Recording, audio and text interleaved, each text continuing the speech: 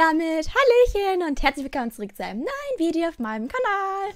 Wir spielen Die Sims 3 für den DS und es ist ganz wild, okay? Ich weiß auch nicht, womit ich mir das hier, warum ich mir das antue, aber ich dachte, es wäre mal witzig, dass wir uns sowas hier auch mal anschauen. Und ja, wir fangen einfach einen neuen Spielstand an.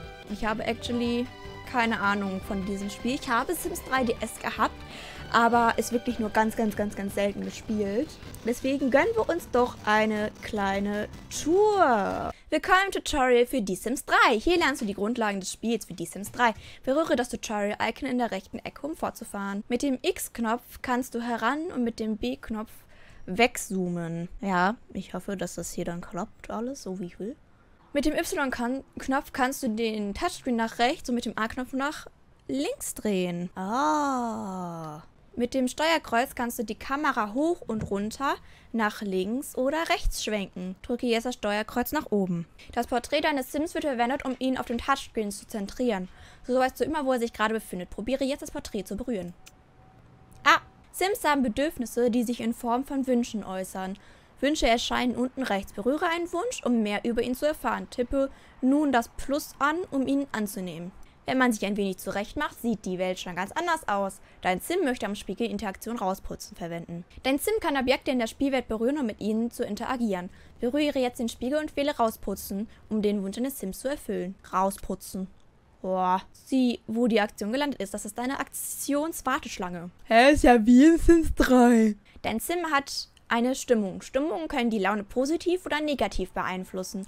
Berühre die Stimmung, um weitere Informationen dazu zu erhalten. Ich glaube, das Spiel findet hauptsächlich auf den Touchscreen statt. Deswegen würde ich jetzt einmal das Ganze drehen, damit das äh, besser für euch aussieht. Dein Sim hat eine Stimmung. Stimmungen können die Laune positiv oder negativ beeinflussen. Berühre die Stimmung, um weitere Informationen dazu zu erhalten. Wird unterhalten. Hänsel amüsiert sich prächtig und vergisst den Alltagsstress.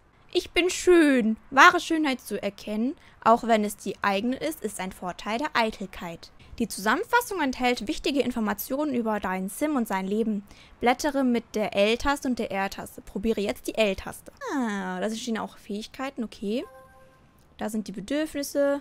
Ja, Fähigkeiten und Bedürfnisse. Im alltäglichen Leben ist die Menüleiste von großer Wichtigkeit. Du kannst die Menüleiste über das Punkt, Punkt, Punkt Icon aufrufen. Berühre das Icon, um es auszuprobieren und mehr zu erfahren. Der Simphon liefert detaillierte Informationen zu so ziemlich allem.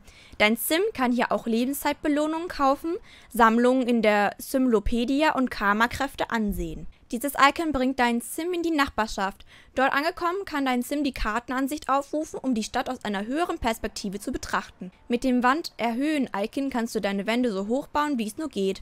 Mit dem Wand-Verringern-Tool kannst du die Höhe deiner Wände abtragen, bis nichts mehr davon übrig bleibt. Über das Kauf-Icon gelangst du in den Kaufmodus, wo du tolle neue Dinge für dein Haus kaufen kannst. Über das Bau-Icon gelangst du in den Baumodus, wo du dein Haus bauen kannst. Weitere Informationen erhältst du in den Lektionen. Lektionen erscheinen während des Spiels oder indem du Start drückst und Lektionen wählst. Zurück zum Hauptmenü. Okay. Dann bin ich jetzt bereit. Äh, Modus wählen? Ich weiß doch gar nicht, was was ist. Achso, das. Wähle diese Option, das Tutorial zu starten. Wähle die Option, um deinen eigenen Sim zu erstellen. Wähle die Option, um einen Haushalt aus der Stadt zum Spielen zu wählen. Nein, wir wollen schon, wir wollen schon einen eigenen Sim erstellen. Denn wie wir wissen, ist Cars ja meine, meine, ne? Also Grundlagen. Ich möchte ein Mädchen. Wir machen mal so Mittel. Und wir machen... Irgendwie sehen die Farben alle nicht ganz so toll aus. Aber ja. Ähm, wir, wir, wir nennen sie Cherry Swish. Keine Ahnung. Ist mir gerade so spontan eingefallen. Aussehen. Oh, Big Eyes. Sieht alles ganz wild aus. Ich finde aber das erste eigentlich ganz süß schon. Berühre das Gesicht und ziehe. Boah, das ist ja wie in Sims 4. Blaue mache so. Frisuren. Man kann die auch drehen. Toll. Yeah. ich glaube, ich finde das eigentlich ganz süß. Dann können wir noch die Farbe ändern. Mit einem schwarzen Hut und dann die Augenfarbe ist grün. Es gibt natürlich jetzt nicht so viel Auswahl insgesamt, aber ist schon in Ordnung. Also ein paar Teile erkenne ich auf jeden Fall wieder aus Sims 3 und manche sind halt anscheinend ganz neu erstellt worden. Uh! oh, wie süß ist das denn? Boah, das hier, mal. Wie wild ist denn dieser Rock? Schlapperhosen sind nicht verfügbar und wurden in Kombination mit kniehohen Stiefeln von der Modepolizei verboten. Ähm, was? Schuhe gibt es aber wirklich wenige nur. Hier, gönn mal so welche. Oh, Ganzkörper-Outfits muss man anscheinend erst freischalten. Spannend. So, dann können wir die Persönlichkeit auswählen. Die sind wahrscheinlich alle aus Sims 3 einfach übernommen. Sind aber gar nicht so viele. Achso, nee, es gibt... Wir wählen einfach von jedem eins aus. Dann machen wir sie zu einem Genie, zu einer Geschickten. Sie ist kontaktfreudig und Vegetarierin. Und ihr Lebenswunsch ist perfekter Körper und Geist, Superstar-Athletin, Bastlerin, goldene Zunge. Ja, machen wir mal das. Dann sind wir jetzt ready. Wenn du mit deinem Sim zufrieden bist, berühre das Häkchen. Ja, ist doch eine Süße. Jeder Sim hat eine Geschichte. Wo soll die Geschichte deines Sims beginnen? Nagi navigiere mit dem Steuerkreuz und dem X, A, B und Y-Knopf, um ein Haus für deinen Sim zu finden. Berühre die Kartenmarkierung und wähle, wie du dein Haus einrichten möchtest. Wie wäre denn dieses Haus? Es wäre relativ in der Nähe von der Stadt und so. Wir können ja... Wir machen mal möbliert. Es gibt verschiedene Möglichkeiten, deinen Sim ausfindig zu machen und ihm zu folgen.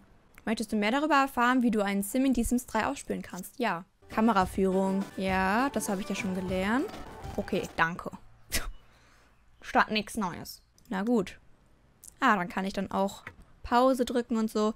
Schön. Die Merkmale, Lebenswunsch, Fähigkeiten. Aber ich finde, das ist doch eigentlich gar nicht so schlecht eingerichtet, oder? Ich weiß gar nicht, ob man mehrere Sims haben kann. So, was wollen wir denn tun? Wir schauen uns mal das Sim-Phone an. Wähle ein Merkmal, um mehr über die einzigartige Persönlichkeit eines Sims zu erfahren. Nee, nee. Oh, hier kann ich doch mehr Sachen machen. Bastlerin. Oh, alles, was man so herausfindet anscheinend. Ich kenne noch keine Sims. ja, tatsächlich. Gelegenheiten. Uh. Arbeitslos. Natürlich, wir suchen noch einen Job. Belohnungsstore. Okay. Okay, dann schauen wir mal. Haben wir einen PC? Nö. Dann können wir ja mal gucken, ob wir uns einen leisten können. So. Gibt es einen Computer? Hier auf jeden Fall nicht. Ich weiß doch nicht, wo das ist. Gibt es keine PCs in diesem Spiel? Kann das sein? Ich habe keine Ahnung. Also ich finde auf jeden Fall keinen PC. I don't know. Dann müssen wir wahrscheinlich in die Stadt, um einen Job zu finden. Äh, Freunde und Nachbarn. Ja. Gastronomiekarriere einschlagen. Na dann können wir das ja auf jeden Fall tun. Wenn wir hier was finden in die Richtung. Wir haben nämlich hier irgendwo bestimmt das hier. Kurze Brecherkarriere. Nicht ganz. Ein Friedhof. Oh, ein Leuchtturm. Was wünscht sie sich denn noch? Kunstgalerie besuchen. Okay, cool. Hier, Gastronomiekarriere starten. Sie fährt sogar mit dem Auto. Cool. Es ist sogar ein bisschen Open World hier. Hör mal. Ein Küchenmädchen muss sich vom Küchenchef herumkommandieren lassen, doch mit ein wenig kulinarischem Wissen und dem festen Willen zu bestehen, wirst du es gewiss noch weit bringen. Diese Karriere wirklich starten? Ja. Oh, magischer Moment. Yeah, du hast einen neuen Job. Sei am Dienstag um 15 Uhr am Arbeitsplatz Imbiss Leckerschmecker. Woo! Herzlichen Glückwunsch, du bist in die glamouröse Welt der kulinarischen Künste eingetreten. Charismafähigkeit verbessern, das ist auf jeden Fall auch ein Wunsch, den ich verstehen kann. Ähm, sie möchte... Hier machen wir kurz auf Pause. Sie möchte ja auf jeden Fall Kunstgalerie besuchen. Das können wir auf jeden Fall tun. Da ist halt die Frage, wo das ist. Hilfe. Institut für moderne Kunst besuchen. Das wird es doch bestimmt sein. Yeah. Rum, rum. Ansonsten geht es ihr soweit ganz gut. Das ist doch schön. So. Hi. Ja, sie hat auf jeden Fall ihren Wunsch erfüllt bekommen. Hallo. Äh, ich treffe ihn nicht. Oder sie, weiß ich nicht, allgemein. Begrüßen. Das ist Garrick Pomp. Kenne ich natürlich. Oh, sie freut sich, weil es ist hier hübsch dekoriert und sie hat einen Wunsch erfüllt bekommen. Toll. Toll, die haben sich jetzt begrüßt und dann kann sie ein bisschen lustig sein. Wir plaudern und schmeicheln und einen Witz erzählen. Haha. Wir wollen ja hier ein paar Freunde machen, ne? Oh, das fand er nicht so gut. Hm. Da ist noch jemand. Möchten wir auch begrüßen. Gewinne Garrick als Freund. Na du? Cole de la Cruz.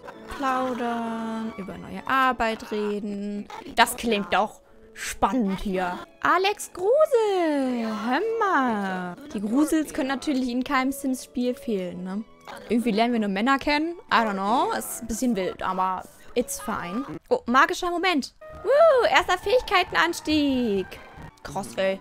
Ah, wir sind Freunde. Wie schön. Oh, man kann jetzt auch verliebt äh, und so, ne? Aber Ich glaube nicht, dass das soweit schon so schlau wäre. Dann können wir uns ja zum Abschied einmal umarmen, weil dann würde ich nämlich nach Hause gehen. Weil so langsam müsste sie auch mal duschen oder so. Sie beginnt zu stinken. Brumm, brumm. Das ist eine richtig tolle Autoanimation, Leute. Uh, Träne, Diamanten können echt lustig sein. Juhu. Okay. Wer auch immer das da geschrieben hat. Ein paar Sims sind auf dem Weg, um dich in der Nachbarschaft willkommen zu heißen. Freundschaftlich begrüßen. Don Alto. Misty Wünschel. Da sind noch mehr Menschen. Ach, der geht hier nur vorbei. Ja, ich glaube, wir haben noch nicht genug Punkte. Du hast erfahren, dass Don kontaktfreudig ist. Ui, warum ist Eddie Korn blau? wow, die teleportieren sich auch hier die ganze Zeit hin und her. Ähm, also es ist kein Problem, dass es nur in den PC-Teilen gibt, Leute. Ist doch toll. Hier, Kerber Reavers, den können wir uns auch vorstellen. Ja, so langsam stinken wir echt. Die sogar eine Haube auf für ihre Haare. Lol. Oder sieht das nur so aus? I don't know. Und sie hat langsam Hunger. Da können wir uns doch auch was gönnen. Da können wir uns doch Macaroni mit Käse machen. Und erstmal das Haus abfackeln. So wie ich Sims kenne. Hier steht noch nicht, welche Fähigkeiten man braucht. Vielleicht braucht man das bei Level 1 noch nicht in der Karriere. I don't know, ob man generell Karrieren braucht in dem Spiel. Kann ja auch sein, dass das ein bisschen einfacher gehalten ist, ne? Eine kalte Dusche, weil die Dusche schlecht ist. Und hungrig. Ja. Kann ich mir vorstellen. Die Leute stehen immer noch vor meiner Tür. Wild. Wenn es so ist, hätte ich ja auch zubereiten können, sodass dann alle essen können. Aber naja. Ja, sie ist gerade dabei zu gehen, quasi. Naja, dann lassen wir sie vielleicht in Ruhe. Wir müssen ja eh hier noch ein bisschen putzen. Haben wir keinen Spiegel? Kaufe ich vielleicht mal ein, weil ein Spiegel für Charismafähigkeit wäre ja schon ganz cool. Wohlfühlspiegel. Ein Möbelstück für mindestens 250 Simoleons kaufen. Das schaffe ich. Das ist doch schön. Hier, in dem Zimmer ist doch nichts. Das zählt nicht. Das ist kein Möbelstück? Doch. Ich wollte schon sagen hier. Was für eine Salonlöwin. Von Tag zu Tag beeindruckst du die Leute mehr. Toilette benutzen. Wäre vielleicht auch mal schlau. Die ist halt null müde, ne? Was ist mit ihr? Das ist ja cool, aber sich aufwärmen. Vielleicht sollte ich sie dennoch schon mal schlafen lassen. Wie toll. ich weiß gar nicht, ob man mehr als einen Sim im Haushalt haben kann. Weil ich kann mich irgendwie daran erinnern, dass es nicht so war. Aber kann auch Einbildung gewesen sein. Oh, was wünscht sie sich? Gewinne Garrick als besten Freund. Uiuiui. Oh, sie ist wach und fühlt sich scheiße, weil das Bett kacki war. Sie kann ja mal so ein paar Sachen servieren. Spaghetti mit Fungibällchen. Also von den Needs her scheint das Spiel ja ziemlich einfach zu sein, weil Sie ist jetzt nach einer Stunde schon fertig mit Schlafen einfach. Was ist passiert? Irgendwas ist schlecht gewesen. Ups. Gleich die Reste wegstellen. Qualität schlecht. Oh.